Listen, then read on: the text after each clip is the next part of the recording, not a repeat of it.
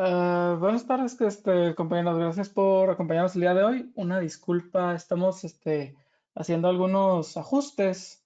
y por el momento vamos a tomarnos otros cinco minutitos para empezar. Este, me disculpo por las molestias. Estaremos empezando dentro de breve. Ahí les comentaré de nuevo. Muchas gracias.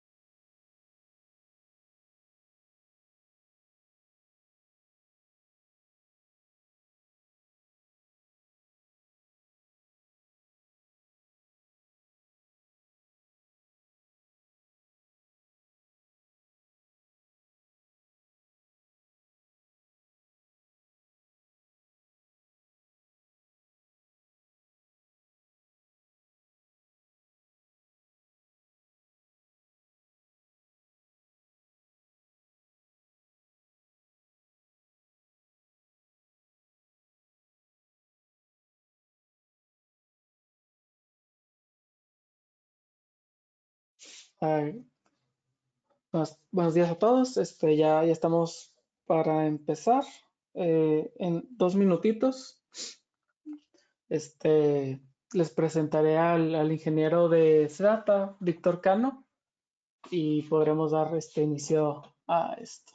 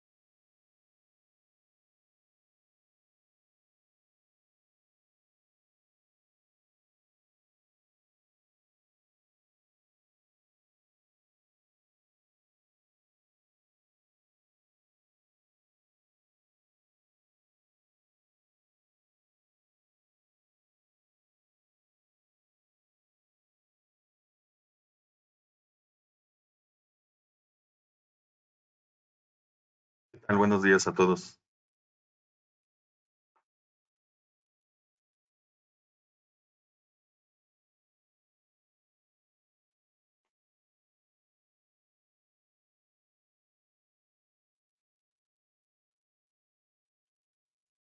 ¿Qué tal nuevamente? Buenos días, soy Víctor Cano.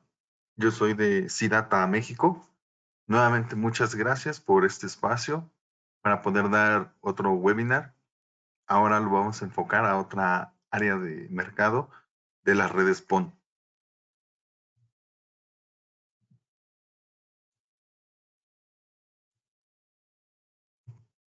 Bueno, el día de hoy tenemos preparado a hacer una breve, una breve adentramiento en estos temas que son tendencia el día de hoy en el mercado.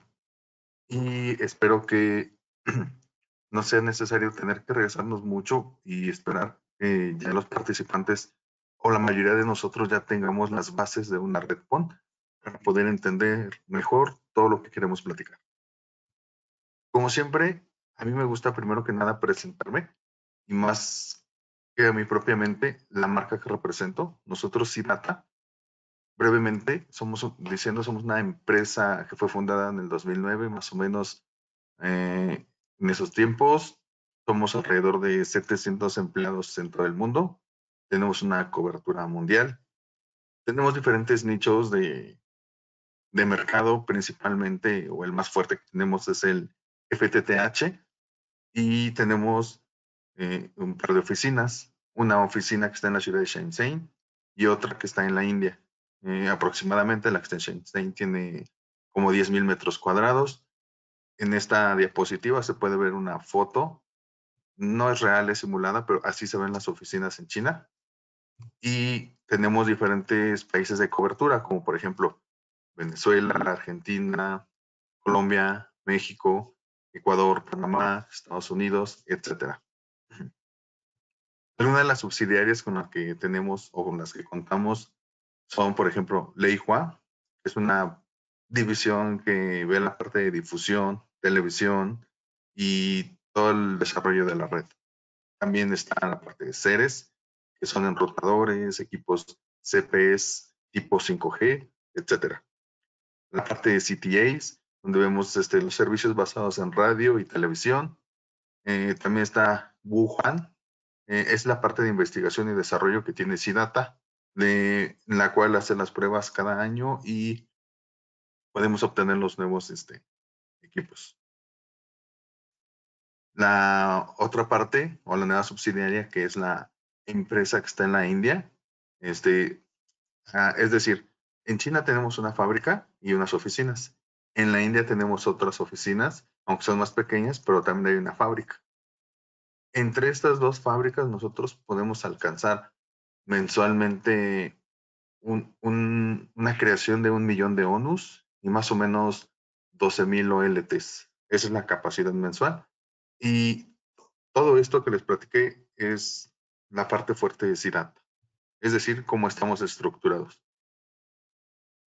También les presento, si ya lo había visto en alguna, en alguna otra presentación mía, estas imágenes, me gusta mucho presentarlas porque es la parte de la manufactura de SIDATA. Es decir, en la primera imagen podemos ver el ensamblaje de los equipos, todo el equipo de ensamblaje que está allí en la fábrica. En la segunda imagen a la derecha podemos ver cómo se carga el firmware, cómo se configuran los equipos de manera básica, ¿no? todos los equipos que tenemos ahí, como osciloscopios, computadoras, mm, power meters, etc. En la parte de abajo, donde está la caja blanca, adentro hay una ONU. Eh, ¿Eso para qué es? Ponen los equipos a, a su máximo punto de temperatura, es decir, a temperaturas muy altas o temperaturas muy bajas, y después de estar ahí los valoran para ver cuál es su desempeño real y así tener un, un dato más exacto en las hojas de datos que normalmente compartimos con ustedes. Y en la parte derecha también podemos ver cómo se empacan los equipos, ¿no? Por ejemplo, cómo se hace el fleje con las cajas, etcétera. Mm, me gusta mucho presentarle estas imágenes porque así nos da una idea un poquito más clara de cómo, cómo es SIDATA, ¿no? Ahora, para la parte de las certificaciones, o sea, van a decir, ok, SIDATA vende equipos, pero hay detrás de ellos o que lo respalda. Tenemos diferentes certificaciones que nos, que nos ayudan y que nos respaldan. Por ejemplo, tenemos la triple C, tenemos la de Anatel, la de ISO 9001, que va enfocada a la calidad para el cliente. La ISO 14001, que son para temas ambientales. Tenemos FCC en Estados Unidos, etcétera. Si ustedes quieren más detalles de esto, lo pueden checar directamente en la página. De hecho, esto es una captura de la web de CIDAT. De las ventajas principales o qué nos hace, qué nos diferencia de algunas otras empresas de renombre o, o que son más conocidas, es que nuestra cadena administrativa es más corta. ¿A qué me refiero? De que en otros lugares cuando uno quiere hacer una garantía o, quiere levantar un ticket para soporte técnico, pues este ticket o esta garantía pasa por diferentes etapas administrativas y hace que los tiempos sean más largos. Por ejemplo, si ustedes quieren hacer algún tema de soporte técnico con algún equipo o algún, alguna recomendación, eh, pueden consultar directamente a Epcon o directamente un servidor. Y entonces el tiempo de respuesta es más, más rápido que con otras empresas que al registrarse en la página levantan un ticket, le hacen el seguimiento, piden evidencia, piden pruebas, etcétera y hace que todo esto sea más, más largo. Tenemos este, un espacio comercial. ¿A qué me refiero? De que pues eh, hay chinos que directamente viven en otros países y se encargan de las necesidades comerciales de los clientes y nos andan apoyando en toda esta parte. En alguna mejora, en, alguna propuesta, todo a nivel comercial. La parte de desarrollo, cuando se hace una customización de un software, de un equipo, pues la cadena de ingeniería y desarrollo o la respuesta de ellos es más rápida, ¿no? Porque tenemos eh, muchos ingenieros y se dedican a, a, satisfacer las necesidades de los clientes. La parte de la manufactura que ya vimos, que actualmente tenemos dos empresas, una está en la India, una está en China, y el tiempo de respuesta de fabricación es muy bueno, ¿no? Un millón de ONUS y 12 mil OLTs al mes no está nada mal. Yo sé que algunos de ustedes van a conocer más allá de FTTH hablando de SIDATA, pero yo les comparto todos los escenarios y las líneas de solución que podemos tener nosotros hablando de tecnologías. Por ejemplo, nosotros podemos tener estos escenarios, FTTH, Enterprise Industry, Home Network, Cable Network. Y para satisfacer esas necesidades, podemos utilizar la parte de PON, parte de Ethernet sobrecoaxial, routers, HFC, el Network Security Storage, DWDM, switches. Mm, nuestro fuerte, como los mencioné al inicio, es la parte FTTH. También tenemos switches, routers de 24, 48 puertos, routers. También tenemos la parte de Ethernet sobrecoaxial para televisión y otros servicios. Pero nuestro nicho es el PON, la parte de servicios PON. Bueno, ya dejando un poquito atrás la parte introductoria de Citata, ahora quiero compartir con ustedes un poco de lo que son las tendencias PON o las necesidades del mercado el día de hoy. Primero que nada, ¿cuáles son las tendencias, no? O sea, las redes PON, ¿cuáles, en qué punto estamos el día de hoy? ¿Cuáles son las necesidades del mercado? ¿Qué equipos tenemos para satisfacer esas soluciones? Eh, bueno, como todos sabemos, las redes PON han ido evolucionando. Este, en este tiempo ha sido un tiempo muy corto y un despegue impresionante. Hemos tenido servicios ya de alta velocidad que nos permiten pues, tener este, servicios de mejor calidad, con mejor respuesta de tiempo, mm, también costos más grandes y costos más accesibles, pero dependiendo de qué elijamos, pues es la calidad que vamos a poder ofrecer los diferentes servicios que ahora se pueden otorgar a través de una red, no necesariamente PON, sino en cualquier otro tipo de red. Este, y hablando específicamente de las redes PON, las redes pasivas, nosotros vamos a hablar el día de hoy de cuatro distribuciones. La parte de APON, que es el Ethernet PON, GPON, Gigabit PON, XPON, la interoperabilidad PON, XGS PON, que son servicios simétricos de 10 GB sobre una red PON. Y cada una de estas tecnologías ofrece capacidades y ventajas que se pueden adaptar a diferentes necesidades que los proveedores de servicios o usuarios finales requieren. Mm, y eh, vamos a explorar, como dije, cuáles son las ventajas, cuáles son las características y todas las tendencias sobre las redes PON de estas tecnologías. Primero, para no ser tan técnicos, em, em, me gusta empezar con una, con una pregunta. ¿Cuáles son las, las diferencias de estas tecnologías?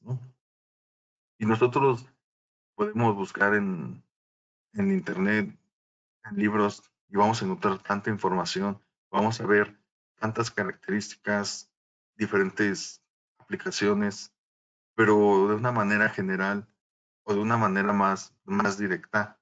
Me gusta poner esta tabla porque aquí podemos ver lo que ya conocemos todos y los alcances que podemos tener, hablando de, de redes PON. En la primera columna yo puse lo que son las tecnologías y hacia adelante las diferentes características o comparativas entre cada una de ellas.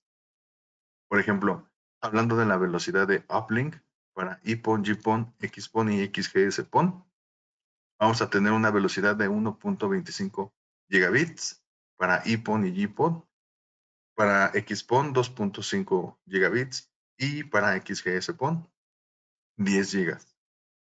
Y por otro lado, para la velocidad de downlink, nosotros vamos a tener para IPON 1.25 gigas también. Es decir, vamos a tener una red simétrica, a diferencia de GPON, que es asimétrica, pero la velocidad de downlink es el doble. Y mismo caso que con IPON, para XPON es una red asimétrica, pero en lugar de tener los 2.5 tenemos ya los 10 gigas de descarga. Y por último, para XGS-PON es una red simétrica que tiene 10 GB de uplink y de downlink. Cada una trabaja con diferentes protocolos. Por ejemplo, para IPON tenemos la parte que es sobre Ethernet. Para GPON es la parte de ATM y GEMS. Y en XPON tenemos una combinación de ambos. A diferencia de XGS-PON, que es un estándar que ya ha sido mejorado, que es el NGPON 2 y cada una de ellas tiene sus características. ¿En qué escenario nosotros podemos utilizar las redes o cuál es el ámbito de uso, como lo dice aquí? Puede ser para redes domésticas, para pequeñas empresas, para redes FTTH, para poder este, tener una red híbrida, para tener servicios empresariales o incluso el día de hoy ya la interoperabilidad nos permite tener diferentes escenarios como un ámbito de 5G, etcétera. Los costos de implementación, pues va a depender de varios factores. Por ejemplo, el tipo de tecnología que elijamos. No es lo mismo comprar una OLT GPON a una OLT XGS PON. Eh, también el tipo de fibra que nosotros compremos. El tipo de láser que utilicemos. Por ejemplo, la OLT puede ser de una marca con un buen precio, pero el láser es de baja calidad. Entonces, eso va a influir demasiado en una red a que pues si nosotros tenemos una OLT que tiene un láser muy bueno, no va a haber necesidad de, de hacer tantos, tantas implementaciones para mejorar la calidad, ¿no? Es decir, poner SFPs más potentes, andar reparando fibra, porque pues, aunque tengamos una fibra que esté dañada, si el láser es muy bueno, nos va a ayudar demasiado. Otro punto muy importante es la cantidad de clientes que puede soportar cada tecnología. Cabe mencionar que estos son los datos que nos dice la teoría. Todos sabemos que la práctica es totalmente diferente y cada uno coloca los clientes que uno cree que son pertinentes para su red. Por ejemplo, para IPON podemos tener un máximo de 64 clientes por puerto PON. En GPON 128 clientes, XPON y XGS PON 256 clientes en cada puerto PON. Típicamente se pone la, la, mitad de capacidad en cada puerto, es decir, 32, 64, 128 y 128. ¿Para qué? Para alcanzar un mejor ancho de banda, para no tener tantas pérdidas, etc. La distancia máxima que nos dice la, la teoría típica y en el mejor escenario son 20 kilómetros. Claro que podemos alcanzar otras, este, otras distancias, pero ya es apoyándonos de otro tipo de tecnologías. Y las lambdas operativas, este es un punto muy importante, porque aquí es donde nosotros podemos definir, podemos, este, podemos pensar y coordinar cuál es el mejor camino de la red que vamos a hacer. ¿A qué me refiero? Si nosotros ponemos atención en las redes IPON y GPON, las lambdas operativas son 1310 y 1490 nanómetros para ambos casos. Y para XPON y XGS-PON son 1270 y 1577 nanómetros en ambos casos también. ¿Qué quiere decir esto o cómo me puede ayudar? Por ejemplo, si yo actualmente tengo una red IPON que está operando sobre 1310 y 1490 nanómetros, yo puedo poner una red XPON sobre la misma infraestructura, pero operándola con las lambdas de 1270 y 1577 nanómetros. A resumidas cuentas, yo puedo elegir dos de ellas, siempre y cuando las lambdas sean diferentes para que no tengamos problemas de transmisión.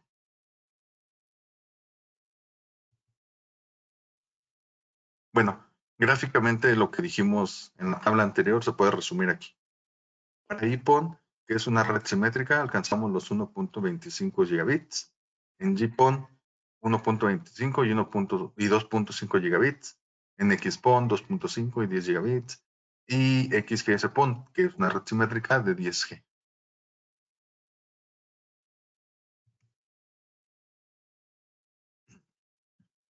Hay unos aspectos clave para, cuando nosotros queremos desplegar una red PON esos aspectos clave que yo considero son más importantes son los siguientes, ¿no? ¿Por qué? Porque hay diferentes puntos que cada uno va a conocer en la práctica y pues, no son fieles siempre. Siempre hay variantes, por ejemplo, el tipo de fibra, el ambiente, la ruta, la calidad de equipamiento, etcétera, ¿no? El primer aspecto es el que ya les había mencionado, nosotros vamos a saber cuántos puertos PON podemos poner, cuántos clientes podemos poner por puerto PON. Y dependiendo de ese dato, nosotros vamos a elegir la tecnología que más nos convenga. Regresándonos un poco, nosotros de primera necesidad vamos a llegar a una comunidad pequeña donde vamos a tener clientes reducidos, es decir, que no tienen alto, una alta demanda de ancho de banda o que no hay una gran cantidad de clientes a lo mejor podemos considerar que sea una red simétrica IPON y por puerto PON podemos colocar hasta 64, pero bueno, yo quiero poner 32 puertos para estar tranquilo. Y después voy a evolucionar a una red XGS PON. Ya sabemos que podemos usarlo con diferentes lambdas o la misma infraestructura y no hay ningún problema. La distancia máxima tomando otra vez el caso de una comunidad que se encuentra no muy lejos de tu data center donde, donde tienes tus equipos, nosotros tenemos a 10 kilómetros esa comunidad y pues es un punto que va creciendo poco a poco, pero que tiene futuro según lo que yo voy proyectando. Pues sí, el primer escenario sería poner una red IPON, a lo mejor una GPON, y ah, de aquí a unos tres años, a lo mejor dos años, crecer a XGS PON para tener servicios, ¿por qué no? De punta también. Y la parte de las longitudes de onda, ¿no? O sea, si yo voy a ocupar una red IPON y quiero cambiar a GPON, pues sí hay que tener un poquito de cuidado en esa parte porque pues sí es más difícil el cambio que adaptarla o implementar una red X o XGS PON sobre la misma infraestructura. O es decir, ¿sabes qué? Yo necesito llegar más allá de esa comunidad pues en ese punto despliego mm, todo mi tráfico y lo impulso por DWDM, por ejemplo, ¿no? Y así, haciendo un breve resumen de la presentación de lo que son las diferentes tecnologías PON, me gusta destacar estas ventajas. ¿Cuál? Lo que ya vimos, su alta capacidad de ancho de banda, que ha evolucionado en todo este tiempo, desde que nacieron las redes PON, que viene desde y PON hasta XGS PON, que son los 1.5 gigas hasta los 10 gigas simétricos. La reducción de costos operativos, pues es lo que les decía. Si uno elige una fibra óptica de buena calidad, duradera, y nosotros tenemos una red que puede ser IPON o GPON. Podemos este, pensar en un corto plazo implementar una red XGS, por, por ejemplo. La escalabilidad y flexibilidad hace alusión a lo mismo de que nosotros sobre la misma infraestructura vamos a tener eh, dos tipos de redes de las que ya vimos, siempre y cuando las lambdas sean compatibles o no sean las mismas, mejor dicho. Eh, al utilizar fibra óptica tenemos una menor latencia. Eh, si nosotros hacemos bien nuestros cálculos de atenuación, de derivación, de división de splitters, eh, equipamientos y todo eso, nuestra latencia va a ser óptima. Es fiable, es robusta. ¿Por qué? Porque mm, a diferencia del cobre, no tiene interferencias electromagnéticas. Este, es más fácil que se roben una red de cobre a que se roben una red de fibra óptica, ¿no? Sí vamos a tener daños, como en todas las infraestructuras, pero va a ser más fiable y vamos a tener mayor capacidad. Un ejemplo de ello es la convergencia de servicios. Por ejemplo, no solo vamos a tener internet, podemos tener telefonía, podemos tener televisión, la parte de streaming, podemos soportar eh, ahora la tendencia del gaming, todo esto, ¿no? Todo esto en conjunto es lo que enriquece las bondades de una red PON. Todo esto es lo que hace crecer la tecnología y lo que nos ayuda a satisfacer las demandas del mercado. Hace unos años pues no estaba toda esta parte de 10 gigas simétricos. Eh, ahora ya están pensando en tecnologías más avanzadas como de 40 gigas o más sobre la misma red PON. Eh, poco a poco vamos a ir preparando estos temas y los vamos a volver a compartir por este por este mismo medio. Y ahora, por último, me gustaría pasar a la parte de las soluciones, es decir, ponerle cara a todo el equipamiento y ejemplificar un poquito lo que vamos a utilizar para las aplicaciones de estas redes De manera general, CIDATA con cuenta con una gran variedad de OLTs que tienen diferentes gamas. Por ejemplo, nosotros podemos tener principalmente tres de las tecnologías que vimos, que es la IPON, GPON y XGS-PON. Dentro de estas gamas, nosotros vamos a tener diferentes equipos con diferentes características. Por ejemplo, para IPON, nosotros tenemos OLTs de 4, 8 y 16 puertos. Aquí no tengo la ilustración de la de 16, pero sí, también. Para la parte de GPON, aquí es donde nosotros tenemos más variedad porque GPON es la tendencia ahorita o es lo que está de moda. Bueno, también XGPON, pero va entrando poco a poco. Y en nosotros vamos a tener OLTs pequeñas de uno y dos puertos. Cabe mencionar que estas dos pequeñas OLTs tienen un panel para poder visualizar información de la cantidad de usuarios. Tiene un módulo Wi-Fi para conectarnos localmente y hacer este, la configuración. Mm, y está pensada para proyectos pequeños, como por ejemplo una escuela, una comunidad pequeña nuevamente, algún campus, mm, un resort, etc. También tenemos equipos de 4, 8 16 puertos que tienen las mismas características que la mayoría de las OLTs. Una unidad de rack, protocolos de capa 2, protocolos de capa 3, puertos management, puertos uplink, etcétera. Y tenemos una OLT que es el modelo FD1700 que abarca una gran parte del mercado. Es decir, toda esta parte punteada que tenemos aquí entre GPON y XGS-PON, vamos a poder satisfacer con esa OLT.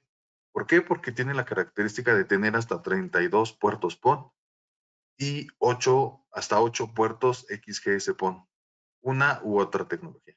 Puede ser híbrida Ahorita vamos a ver por qué. Aquí la tengo preparada.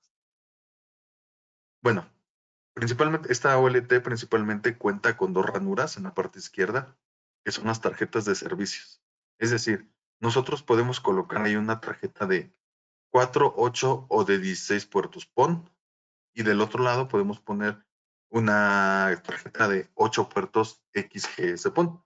Es decir, nosotros ahí es donde podemos aplicar la tecnología mixta de una red GPON y XGS-PON sobre la misma fibra óptica. O a lo mejor solamente queremos tener una una repisa que tenga puro XGS PON, también aplica. O también podemos poner puro GPON a 32 puertos y en teoría a 128 clientes alcanzamos más o menos como 2048 usuarios en una sola repisa. Podemos utilizar esto, como les dije, protocolos de capa 2, protocolos de capa 3, diferentes tarjeterías.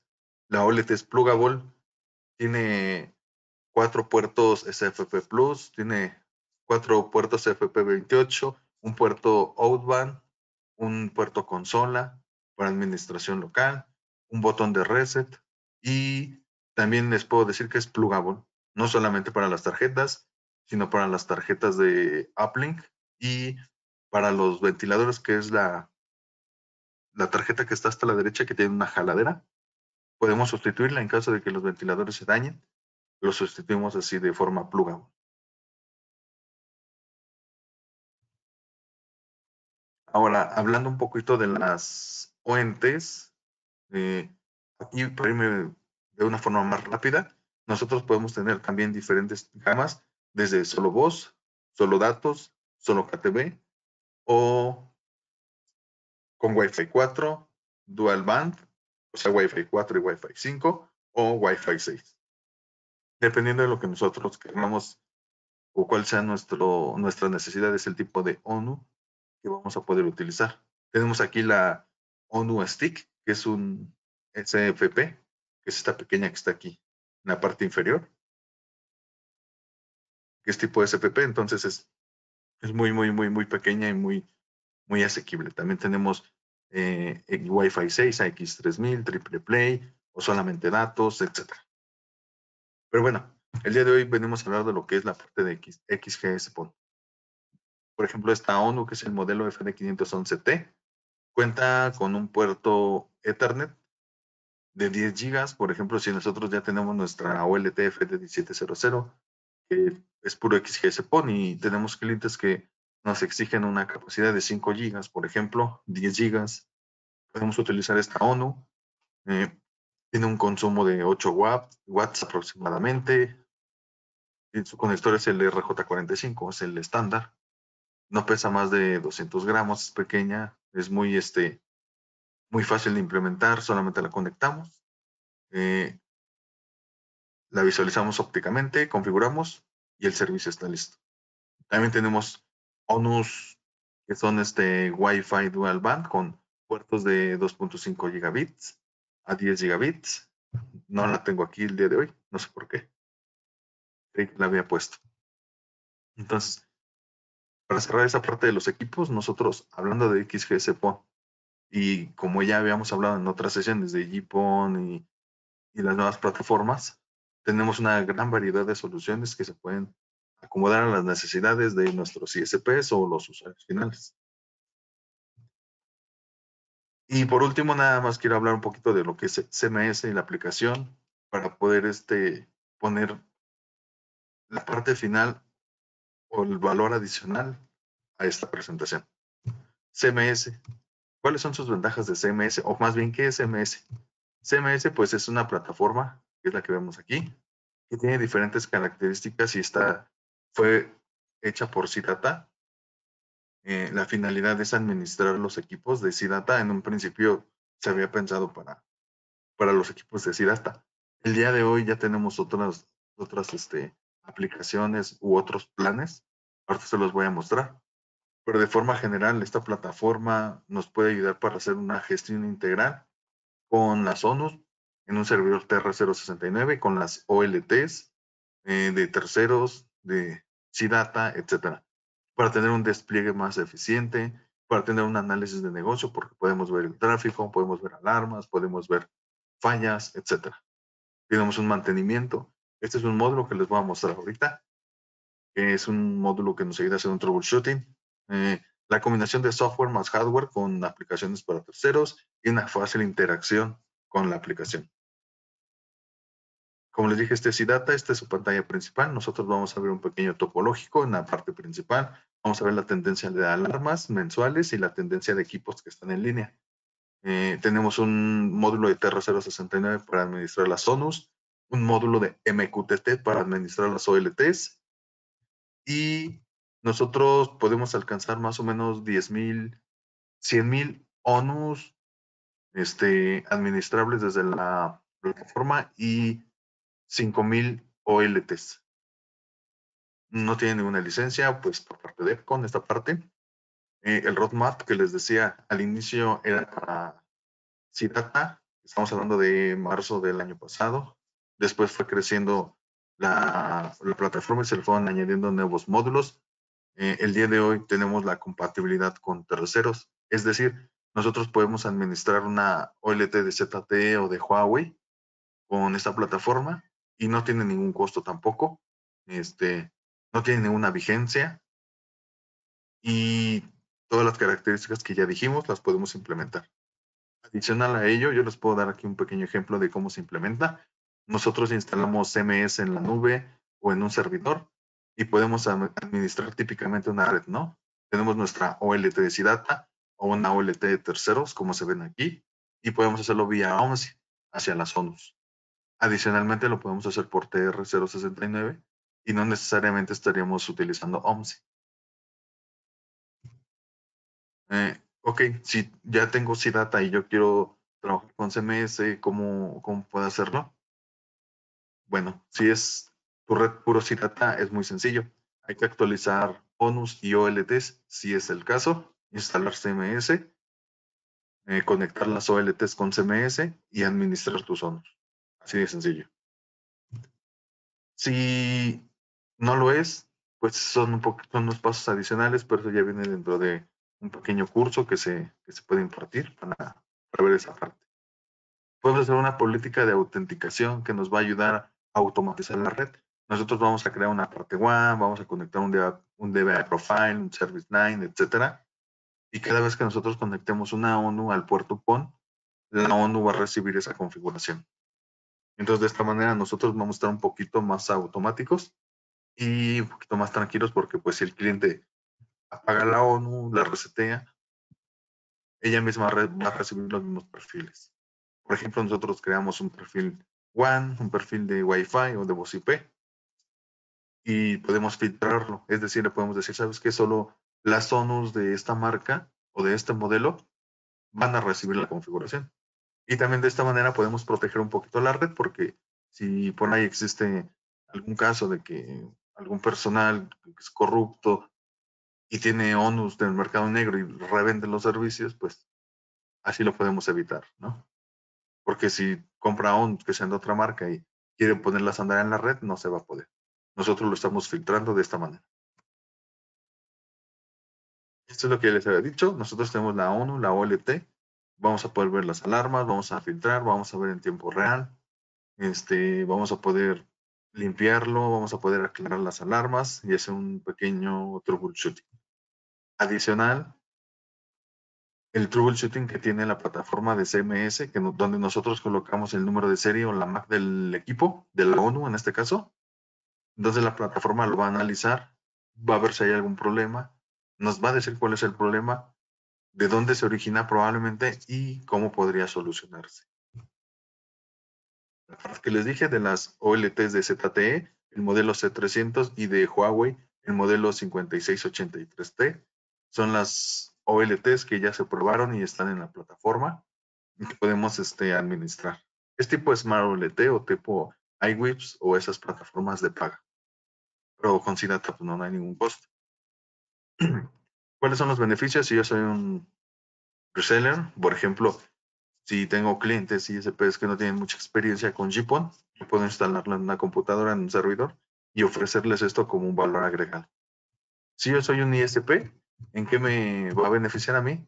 Pues la gestión centralizada, como ya lo habíamos dicho, la fácil implementación, el autoaprovisionamiento, el mantenimiento, el troubleshooting, que es una aplicación que no va a tener costo por parte de EPCON y el bajo costo.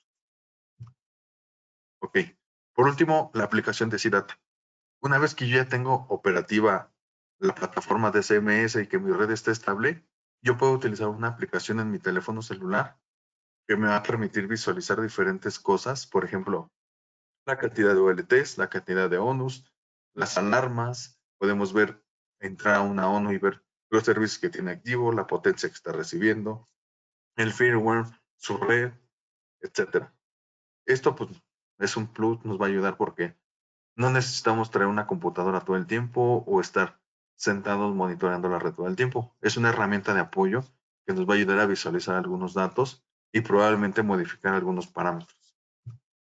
Este, si tú tienes tu red en una nube o en un servidor, también lo puedes utilizar. Si está en un en uno u otro, simplemente vamos a escanear un código QR para descargar la aplicación y un segundo QR para poder autenticarnos en ella y poder este, utilizarla.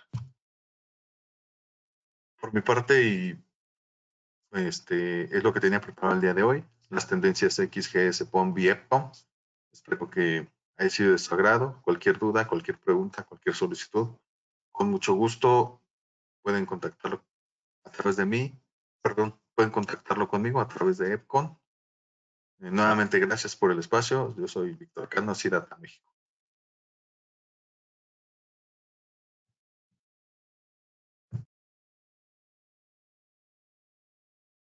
Bueno, Víctor, muchas gracias por tu tiempo. Este, si tienen alguna duda, nos pueden contactar ah, con su vendedor. Este, yo soy Ricardo Flores. Me pueden enviar un correo ricardo.flores de, de dudas que tengan de, estas cosas.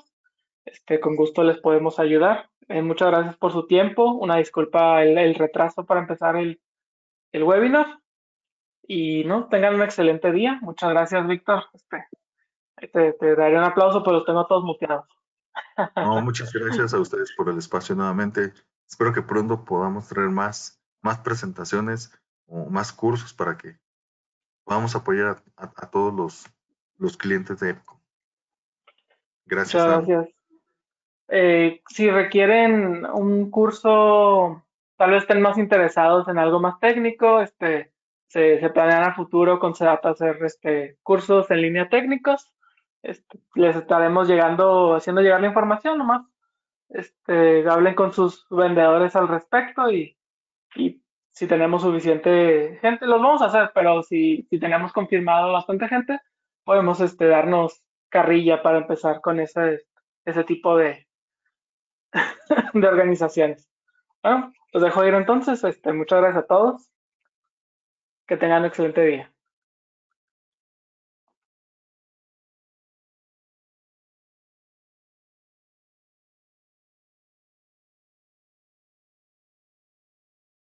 Creo que Víctor tiene una pregunta. Víctor Manuel.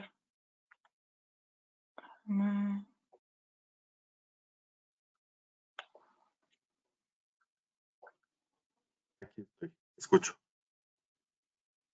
Mm, Víctor, si, si la quieres mandar por el chat.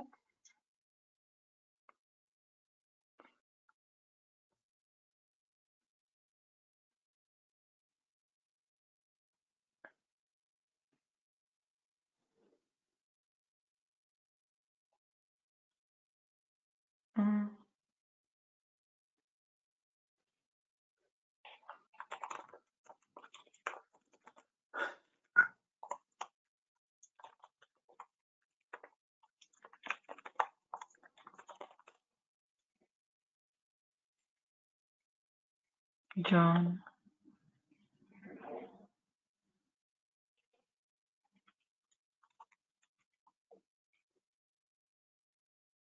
Ah, Víctor pregunta si, si le compartimos, si les vamos a compartir la presentación. Eh, vamos a subir un video a YouTube con la presentación. Ahí este la pueden, la pueden ver. Eh, si quieren, mándenme un, correo y vemos con, con Víctor si es posible que nos pase la presentación. Claro, claro que sí, no hay ningún problema, Ricardo. A ver, eh, John, también ya te mandó un mensaje, John, si me quieres compartir tu pregunta.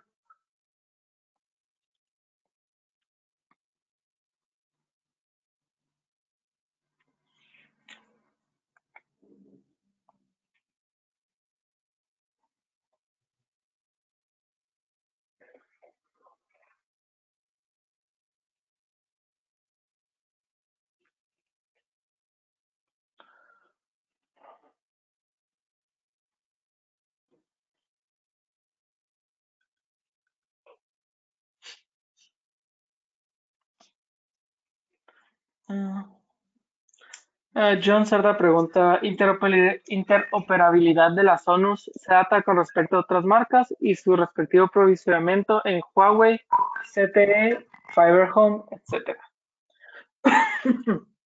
Claro. Hablando de interoperabilidad con otras marcas, las ONUs de SIDATA se han probado, por decirte en mi experiencia, con OLTs de Huawei, ZTE, Fiber Home, este, mm, TP-Link, Visol, IOSO, etc.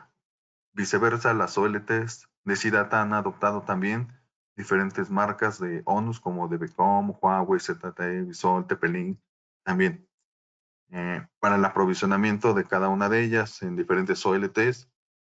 Mm, ya depende del el tipo de OLT que tengas tú eh, y el tipo de configuración o management que tú manejes. Por ejemplo, si es por IP eh, o pues este eh, PPPoE, etcétera, ¿no? Digo, si tienes alguna duda, quisieras hacer alguna prueba, eh, igual podrías contactar a tu vendedor y por medio de, de ellos podemos hacer la consulta.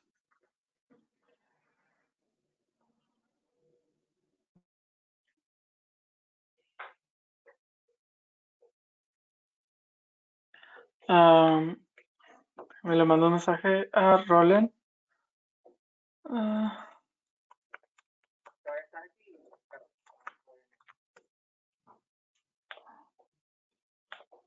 Mm.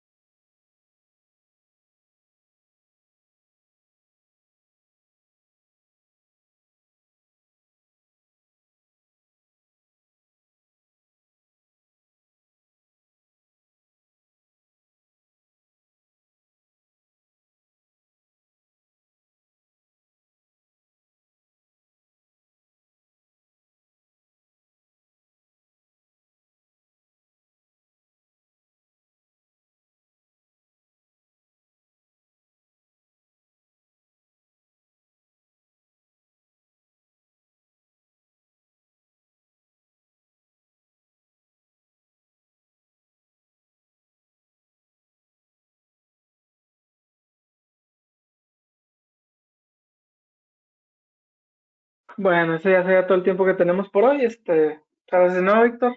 Eh, muchas gracias por tomarte el tiempo de contestar preguntas. Este, que tengan un buen día. Al contrario, gracias por el espacio, Ricardo, y lo que requieran, por favor, contacten.